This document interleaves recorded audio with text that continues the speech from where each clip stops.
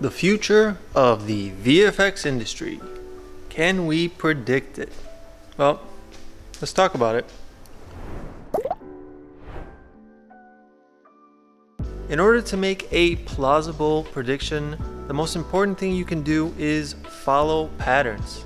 Patterns are a perfect indicator of what's to come as they give you enough feedback to make a plausible prediction. Therefore, we have to ask ourselves what pattern does the industry follow? Well, the answer is pretty simple. The technology leads and the industry follows. But what does that mean for the future of the industry? Well, in order to answer that question, we'll have to take a closer look at the latest tech. Here, what we have is a 3070, 3080, and a 3090. These are currently the latest NVIDIA GPUs on the market.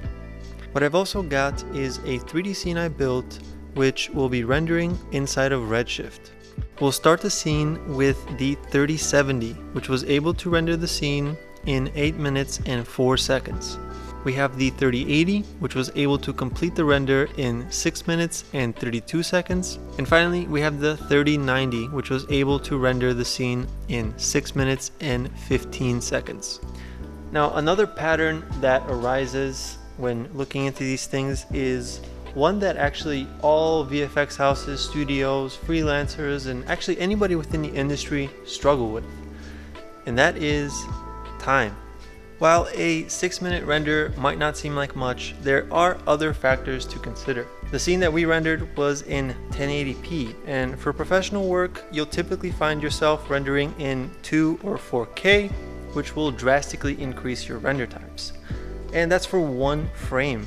There are 24 frames in a single second, 30 for television, 48 if you're Peter Jackson. You can see how that will accumulate and your renders could take hours, days, even weeks for a single shot. And while render farms have helped solve this issue, it can be quite expensive and a bit of a headache to deal with. The reason why I actually ran these tests is to show you guys that even with the latest hardware, the standard method of rendering is still extremely time consuming.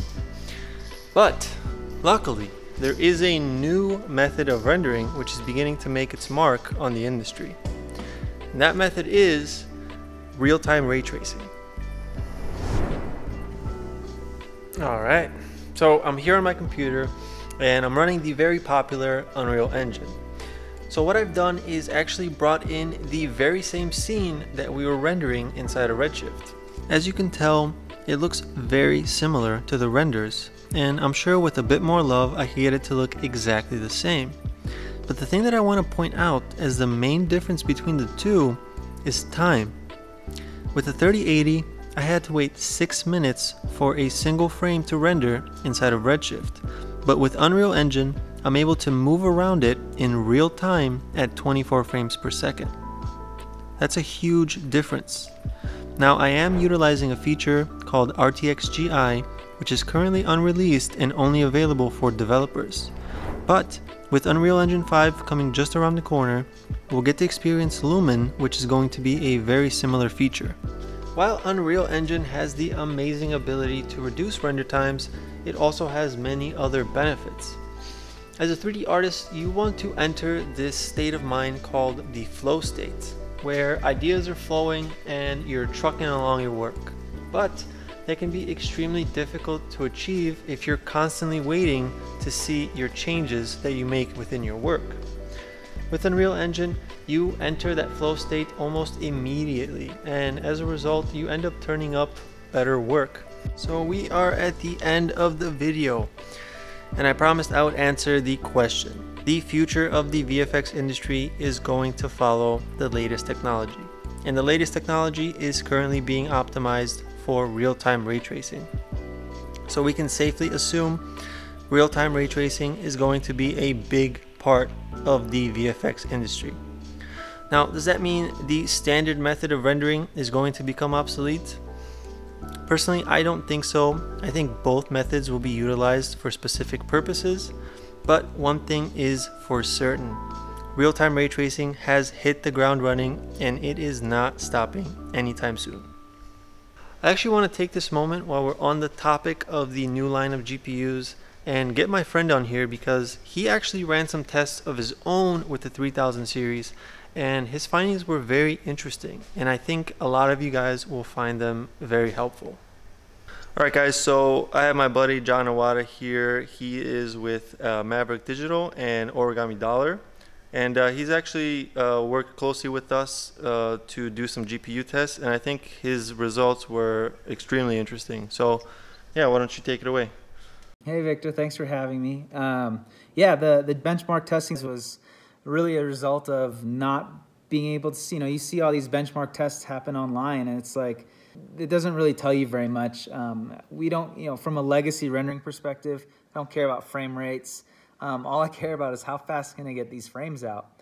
And uh, so what we ended up testing was we ended up testing the same cards over uh, different other variables, such as, you know, in this case was done testing different CPUs. Uh, what we're able to figure out is that, you know, I guess the, the moral is throwing a lot of money at your hardware isn't necessarily the way to get the fastest renders. Um, in fact, it's mm. quite the opposite. You really have to cater your hardware to get the maximum performance. So, you know, if you have a bunch of really fast frames, having the top of the line graphics cards or the top line CPUs, that's actually what we found is the worst combination to have. You want to have the CPUs that have the highest clock speed and you don't need a lot of cores. And so there's a lot of variables there in which which we tested. Um, and you know, we're hoping to test some more things in the future where we test other variables, which um, again, people are not testing when comparing GPUs and how they render legacy scenes, such as different speed of RAM, uh, different motherboards. That's a that's a big one, right? Because there's so much variation in the motherboard. Like how how does the CPU communicate with the GPU? Like what what are the lanes that it has to do that? So you know, these are all things that we plan on testing in the future. Actual real world tests that I can relate to uh, as someone who's seeing frames come off a farm. So uh, that that's where that's where this benchmark testing really came from, and uh, you know, I think I'm really excited about the results uh, and to share them with people as well. Yeah, absolutely. I mean, that's something uh, people would definitely want to consider when you know purchasing these 3000 series GPUs, uh, especially when you're you're talking about stacking GPUs. I think you found some interesting things on, on that as well. That was the most interesting thing. I mean, I you know, I as I'm sure many other people as well as a lot of the rental machines, you know, the motherboards come in certain sizes, and when you I thought that by stacking two 3080s, we're going to get mind-bending performance out of um, out of these cards and just render times that were just through the roof, and and I just was not getting that. Um, and after testing a bunch of different variables, drivers, software, making sure that my renderer was actually picking up both GPUs, um, I actually found that the limiting factor was heat. It was a thermal throttling issue. Um, you know, these, these new 3080s, they're, they're quite thick and you can stack them one on top of the other, but then what ends up happening is one card ends up basically getting, you know, no airflow into it. Um, and I think what, what I found, in fact, was by I got much, much better performance by putting a, a, smaller card, such as a 2080 Ti on top, closer to the CPU, and then the 3080 at the bottom, um, where now both cards could could breathe. And uh, uh, that, that that thermal throttling is a is a very real thing. It's something I think a lot of people maybe forget to consider when they just try cramming a bunch of cards into these motherboards. Um, of course, all this stuff can be can be overcome with you know PCI risers and all kinds of custom setups, which is you know things that we're working on as well, which is really exciting. So yeah. Uh huh. That's very interesting. Yeah, I mean, I was thinking about getting two 3080s and just selling my 1080 Ti's, but maybe just getting one and, and, and matching it with a 1080 Ti yeah, or something. Unless you have a solution for making sure that they both get adequate airflow, which you know five millimeters or you know even a centimeter that's not adequate enough when you know these cards need that airflow to get to those fans. Yeah, yeah. absolutely. Yeah. Cool awesome man well thanks uh, thanks for coming on here we'll definitely uh, love to get you get you back on here with with some more interesting stuff yeah looking forward to next round testing Yes. thanks for having me yes sir all right all right man thanks that's going to be it for today, guys. Make sure to visit our website at vfxtechnologies.com. If you guys enjoyed this video, give it a thumbs up. Make sure to subscribe to the channel if you want to see more. and I will catch you guys on the next one. Cheers.